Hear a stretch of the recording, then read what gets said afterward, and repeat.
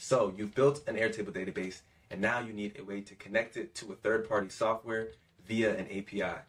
However, you run into the situation where that tool does not have a native Airtable connection, nor does it have an integration with Zapier or Make to send that data to your Airtable database.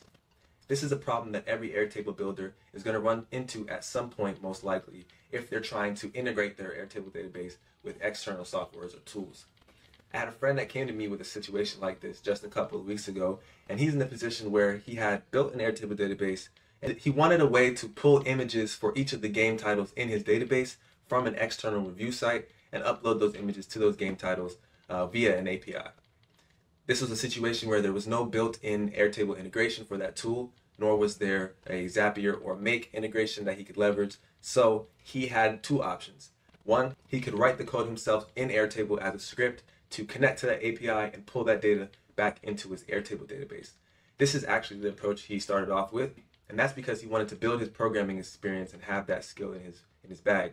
So that allows you to call the APIs via code. Uh, however, there's a second option uh, that is a lot more efficient when it comes to building more complex automations, and that is using a make scenario to call the API on your behalf using a visual programming interface. What this does is it helps you build integrations and automations much faster. It also helps you build more reliable automations and helps you debug them in a more efficient and uh, repeatable and uh, traceable manner. So in this video, I'm going to walk you through the exact steps that I took to connect my Airtable database to third-party APIs in less than 20 lines of code. So let's jump into it. So we have a CRM here which has a table of contacts and our objective is going to be to take each of these records um, in this contacts table and validate the phone number using an external uh, API called Abstract API. So the first thing we needed to do is add a field to track the phone number validation status. This is a single select with the two options being valid and invalid. And then the two views we created to track our process are first the unvalidated contacts view. This is going to have two filters on it. One to only show records that have a phone number and then another one to only show records that have an empty phone number validation status.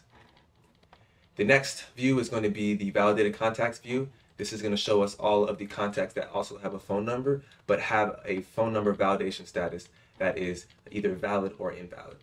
These are going to be the contacts that have already gone through the process of being validated. So the next step is to go to our automation and set up a connection between our Airtable database and our make scenario. So in our automations pane, you see that we already created an automation here for us to work off of. This automation is triggered when a record enters the unvalidated contacts view and it uh, runs a script that is going to take in two variables, one, the phone number of our contact, and then two, the record ID of that contact record. We use this record ID to update the contact record um, from the make scenario without having to um, be in Airtable itself to update the record. You can look into the code here. As you can see, it's only 16 lines, so it's super simple. Um, the first is line of code is going to pull in the configuration variables from the left-hand pane. The next few lines are going to be the uh, run function that we are setting up to call the fetch function. That is going to be what actually triggers our webhook or, or hits our webhook and sends the information in the body, which is the phone number and the contact record ID, to the make scenario. We also set our headers and the method type um, webhooks are going to be post method so that you are sending data and posting data to the server. The last line just calls the function and that's it for our script. So we'll jump over to our make scenario and you will see that uh, we have four modules here which we'll go through um, in detail. So the first one is going to be our webhook module. Um, you're going to go down to your bottom right hand menu to add all these modules. Uh, we already have them here, but the four are going to be the webhooks module, HTTP module, JSON module, and the Airtable module. As we said, first we have our webhook. Um, to add a webhook, we just click add, you give it the name, you'll save that, and then you'll copy the webhook address to your um, clipboard, and then you're going to go back to your automation and update the link that is within the uh, fetch function to that webhook URL. All right, so once you've done that, you're going to want to determine the data structure. So we click we determine data structure, and then we are going to trigger our automation up here so that it sends the data from our test record in Airtable to the um, make webhook. As you can see, it successfully determined the structure We'll click OK, and then you'll see we can now reference variables from that uh, webhook in the subsequent modules. So to set up our HTTP module, we then need to pull in some information from our API. So in Abstract API, we're going to pull a few different things. First, we're going to pull the URL of the, the API that we're trying to call from this scenario. We'll set the method, which in our case is going to be get, because uh, that's just the specification for this particular API's endpoint. And then we'll set two query parameters. Um, one will be the API key, and the second will be the phone number from the make scenario that we uh, want to actually validate. In Abstract API, that information is super easy to find. Here we'll grab the API endpoint URL, we'll paste it here. All this is going to be in here already since we've already set it up. We'll pull in the API key, and we'll paste that there. And as you can see, we already have the phone number here from the webhook, so we won't change that. So then we're going to save this, and that's what's going to give us what we need to actually call our API and validate our phone numbers. So we'll go ahead and test this out by unlinking it from the rest of the process. We'll click run once, and then we'll go back to our Airtable automation, click test again.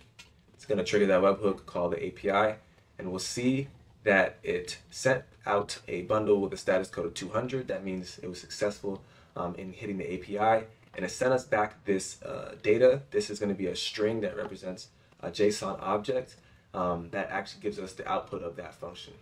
So we can copy this, and the reason why we're going to copy this is because we, we can't use that information as a string yet inside of the subsequent modules.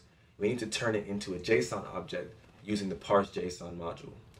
So what you're going to do is open the JSON module, we'll click add, we give your data structure a name, and then hit this generate button, and we'll paste in that data that we pulled from that sample API call. Once you click generate, it's going to actually pull in all of the structure of that um, JSON object for you. You'll click save, and what that's going to allow you to do is um, enter your JSON string from the previous module, and then in the next module, we'll actually be able to pull the specific attributes from that response um, into our record. We want to be able to put the validation status back in our Airtable record, and so that's what we um, want to parse. The last step is going to be to actually update that contact record in Airtable with the validation status.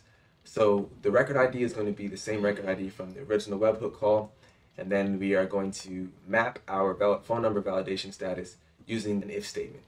So here's a very simple logic. We're going to take the valid um, key of our JSON object that we just parsed.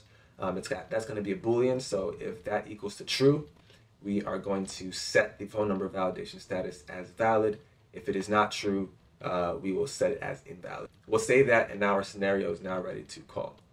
So to test this from beginning to end, we'll click run once again. We'll go back to our test Airtable record and then you'll see that it went ahead and ran and updated the Airtable record um, for that test test um, test contact. So we'll go back to our database. We'll go to our validated contacts view and we'll be able to see that that phone number did get validated. It was invalid because all this is pretty much test data, but um, you can see the process, how it works, and how um, we get from beginning to end. So our last step is going to be to turn these automations on and then validate the rest of the contacts in the database. So we turn on our Airtable automation. We're going to turn on our uh, make automation.